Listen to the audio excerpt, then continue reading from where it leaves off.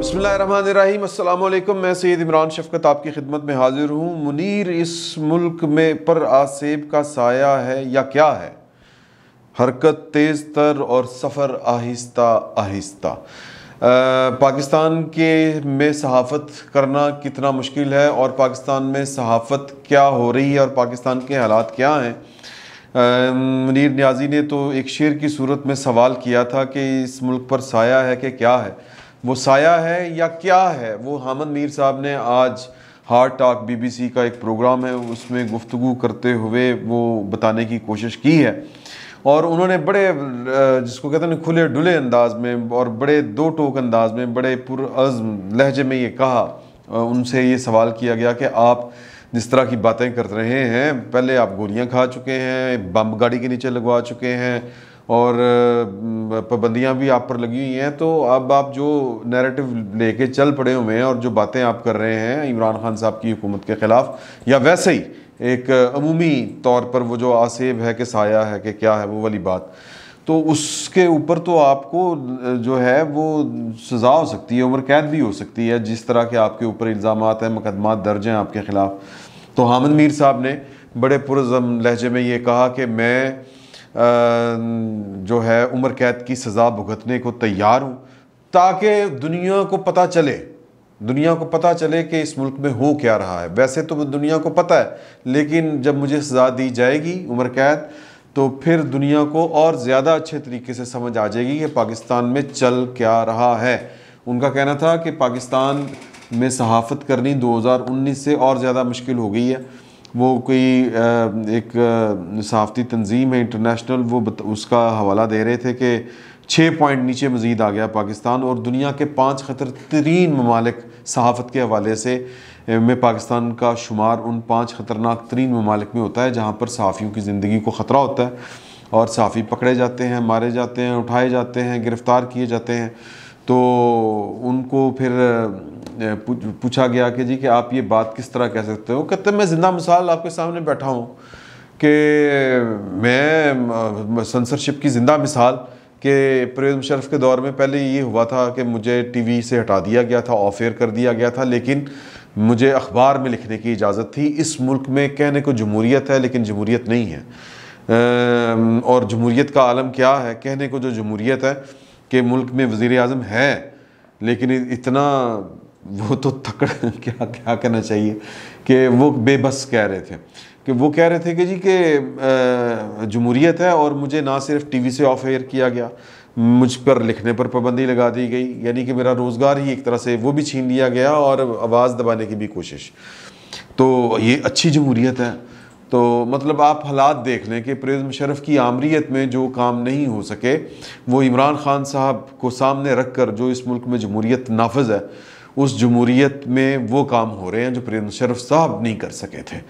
तो ये उन्होंने हवाला दिया, फिर उन्होंने जब बात कही वो कि जी कि आप अपने क्या मौक़ से पीछे हट रहे हैं? आपने कुछ लिख के भी दिया था। तो वो भी उन्होंने क्लियर किया कि वो असल में पर्चे होने शुरू हो गए थे। असद तूर साहब के मामले के ऊपर उन्होंने एक ख़िताब करते हुए वो जो मशहूर ज़माना जो बात की थी जनरल रानी वाली तो उसके, उसकी उसके बाद जियो ने भी उनके ऊपर से हाथ उठा लिया या जियो ने भी कह दिया कि वो छुट्टी पर चले गए हैं। छुट्टी पर गए हैं, कलम भी मेरा ख्याल है कहीं पर वो रख के भूल गए हैं। तो लिहाजा मतलब काम उनका ख़त्म।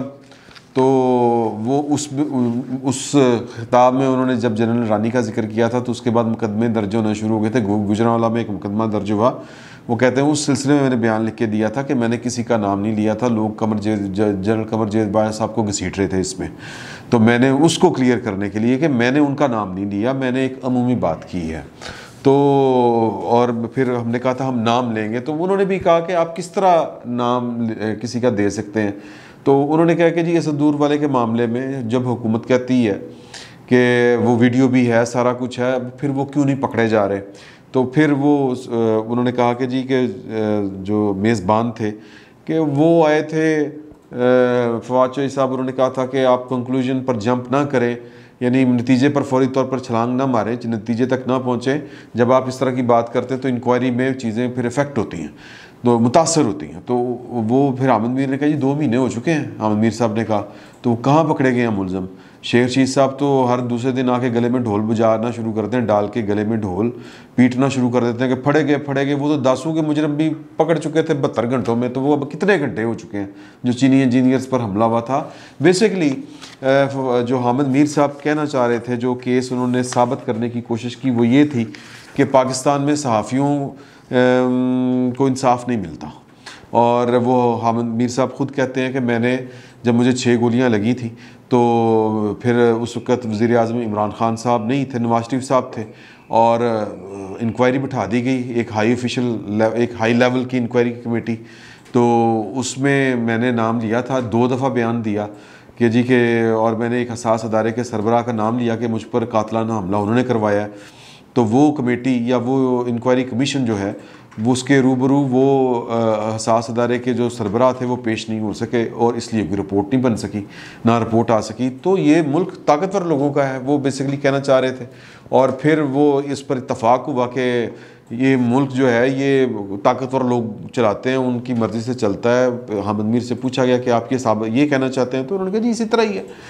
तो बहरहाल बड़ा उन्होंने हाथ बचा के, नाम लिए बगैर चीज़ों को ज़रा खोल के रखने की कोशिश की, बयान करने की कोशिश की। और उसके अलावा उन्होंने फिर ये भी लेकिन काफ़ी हद तक कामयाब हुए वो ये बात बताने में कि पाकिस्तान में साफ़त करना कितना मुश्किल है।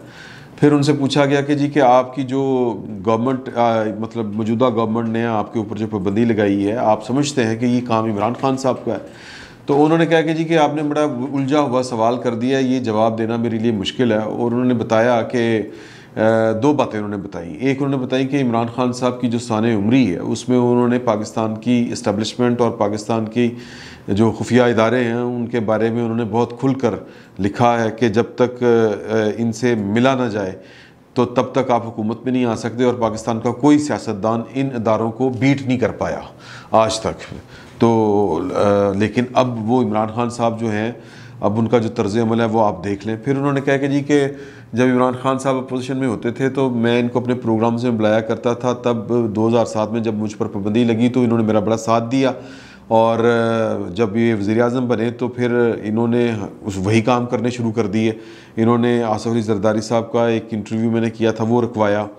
और मतलब अब ये नतीजा पहुँच चुका है कि सेंसरशिप की इंतहा ये है कि मैं प्रोग्राम नहीं कर सकता, मैं कॉलम नहीं लिख सकता। तो लेकिन मैं ये समझता हूँ कि ये मुझे ऑफ़ एयर करवाने में इमरान खान साहब का हाथ नहीं है, क्योंकि इमरान खान साहब पाकिस्तान के ताकतवर वज़ी अजमों की तरह के वो वज़ी अजम नहीं है। यहाँ पर मैं इख्तलाफ जो है वो ज़रूरत इख्तलाफ करूँगा, हामिद मीर साहब से। मेरी इतला के मुताबिक इमरान खान साहब वो शख्स वज़ी अजम हैं, जो इस वक्त एक पाकिस्तान के ताकतवर तरीन अहदेदार को आँखें दिखा देते हैं। वो बिगड़ जाते हैं उनके साथ। क्यों बिगड़ जाते हैं? क्योंकि उनको कई और ताकतवर लोगों की सपोर्ट हासिल है। और डिसिप्लिन जो है वो ज़रा आगे पीछे पड़ा हुआ है। तो मतलब एक होता था ना कि डिसिप्लिन मतलब कि ये ट्रेन यूँ ही चलेगी। इतने बजे ही रुकेगी। ये इंजन है और इसके पीछे ये फ़लान डब्बा ये फ़लान बोगी होगी और ये एस हैं ये काम होगा। तो वो वाला काम नहीं है। अब इंजन जो है वो उधर जा रहा है और जो बोगियाँ हैं वो उधर जा रही हैं। तो इमरान खान साहब ये, ये डिसिप्लिन जो है वो बिगाड़ चुके हैं कुछ फोरम्स का। तो वो आँखें दिखाते हैं जिनको उनकी उन्होंने दिखानी है क्योंकि उनको कहीं से सपोर्ट है। और ताकतवर लोगों की सपोर्ट है। तो इसलिए वो किसी बड़े ताकतवर के सामने खड़े होने से कतरा नहीं रहे। तो अपनी मर्ज़ी कर रहे हैं। और फिर जो हामिद मीर साहब हैं, याद करें कि ये इमरान खान साहब बहुत कम लोगों को ट्विटर पर फॉलो किया करते थे। हामिद मीर साहब उनमें से एक थे। हामिद मीर साहब को उन्होंने अनफॉलो करना शुरू किया। फिर उनके अंदर वो जज्बा शौक जागा नवाज़ शरीफ साहब के ट्विटर को देखकर।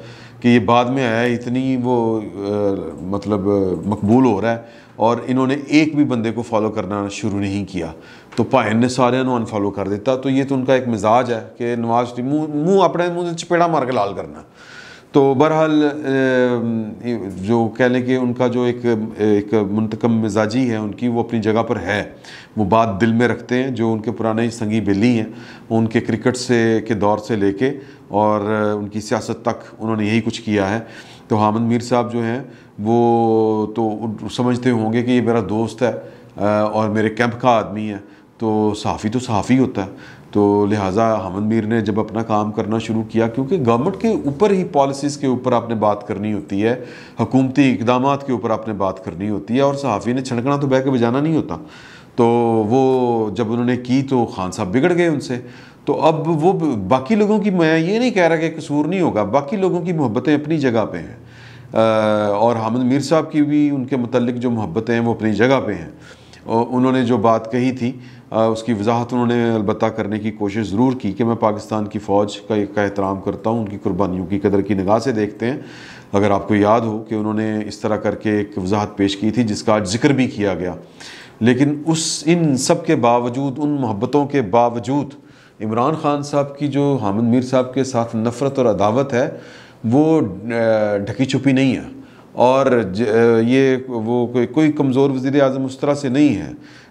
पहली बात तो ये कि इन्होंने अपनी मर्ज़ी नाफज करने की कोशिश कहीं पर नहीं की, और जहाँ पर इन्होंने अपनी मर्ज़ी नाफज करने की कोशिश की है, वहाँ पर की हुई है। बहुत सी पोस्टिंग्स हैं, बहुत सी ट्रांसफ़र्स हैं। जो इमरान खान साहब की रवैये की वजह से रुकी हुई हैं, या बस वो उनके, वो अड़े आए हुए हैं उनके कि नहीं, ये नहीं होना, हालाँकि वो ड्यू हैं तो वो बहरहाल मजबूरी है, वो होनी तो है, लेकिन आज होती हैं या कल होती हैं तो कहने का मकसद ये है कि हामिद मीर साहब ने इस सारे सनेरियो में जो इस वक्त पाकिस्तान के ऊपर एक जो अगर आपने वो कहानी सुनी हो, वो वाइट सुनो वाली है ना, कि उसमें किस तरह करके एक हुकूमत आ जाती है, काला जादू। तो फिर वो ये बात फिर किसी गलत से मत चली जाएगी, लोग ले जाएँगे। मैं खालिस्तान स्नो वाइट के मामले पर कर रहा था। चलें, ये बात नहीं करते, लेकिन मैं आपको ये बात बता दूँ कि पाकिस्तान के ऊपर इस वक्त जो भी जिन जफा डला हुआ है वो उसमें इमरान खान साहब की नीम रजामंदी हो या पूरी रजामंदी हो, वो अपनी जगह पर, लेकिन इनका किरदार भी है। ये भी बात आप जहन में रखिएगा कि वो उनका हुकूमत और उनका तसलुत उनका इकतदार, उनकी बादशाहत, वो कायम दायम रहे। वो इसके लिए कोई भी, किसी भी चीज़ से चूकते नहीं हैं। उस पर अगर हामद मीर पर पाबंदी लगानी है, वो उससे अगर किसी और को फ़ायदा हो रहा है तो ओके ये मफाद मिल जाते हैं बाज़ात ये होता है ना? तो इमरान खान साहब ने मेरा ख्याल है कि डिसेंटिंग नोट बहुत कम दिए हैं। बहुत कम दिए हैं पाकिस्तान की सिक्योरिटी इस्टेबलिशमेंट के साथ। और जहाँ पर उन्होंने दिए हैं, वो खालिस्तान अपनी सीट बचाने के लिए दिए हैं। और जहाँ पर वो वेरे हैं, पंजाबी में जिसको कहते हैं, वो खालिस्तान अपनी कुर्सी बचाने के लिए वेरे हैं।